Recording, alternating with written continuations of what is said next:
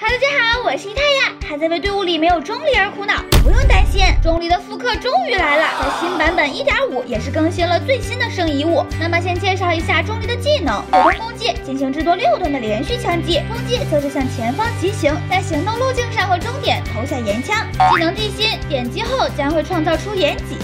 长按后，附近的岩元素爆发，创造盐脊。当然，零命的盐脊上限为一个，而一命后则会增加至两个，并且形成豫章护盾，吸收伤害。盐脊在创造时会造成岩元素范围伤害，在持续期间也会间歇性对周围敌人造成岩元素伤害。豫章护盾对所有元素伤害与物理伤害有百分之一百五十的吸收效果。属于豫章护盾庇护下的角色，会使附近小范围内的敌人所有元素抗性与物理抗性降低百分之二十。天星，哦不对。应该叫天动万象，降下巨大的星眼，对范围内敌人造成巨量岩元素伤害，并使其石化。岩旋沉断，豫章护盾受到伤害时，护盾强效提升百分之五。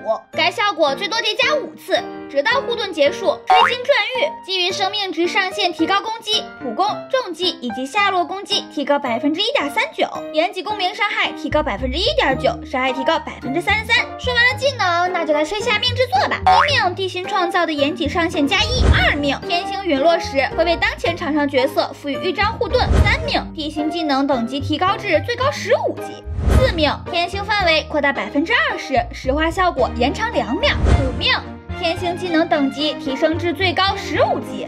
六命豫章护盾受到伤害时，将恢复当前角色生命值，恢复量为伤害的百分之四十，单次恢复不超过当前角色最大生命值的百分之八。那钟离的技能和命制作都介绍完了，还在等什么呢？听说点赞的人都可以单抽出钟离哦。